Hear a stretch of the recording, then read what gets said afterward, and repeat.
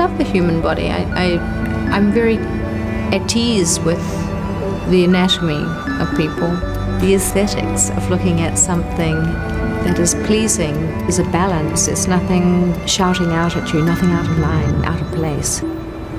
Makeup I have, haven't grown tired of. I've been doing it like 29 years now. People that I've painted over the years have been from high profile actors, models, characters, musicians. It always is a new challenge, and usually the task is completely original.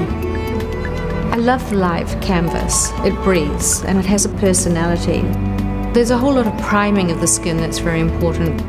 It's about keeping the canvas alive and happy. The human skin is warm, so it will absorb color. Certain colors will disappear, so you have to keep going back into places to make things pop.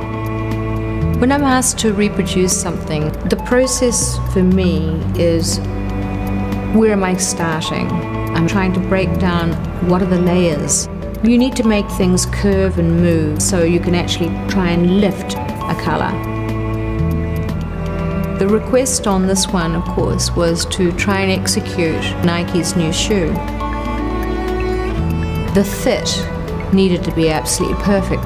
We also wanted to exaggerate a little bit the new elements. Even though it has a mesh that goes across it, it is a luminous color.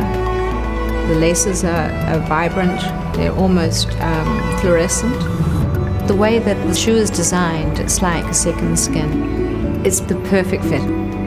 My name is Joanne Gair, and I'm a makeup artist and body painter.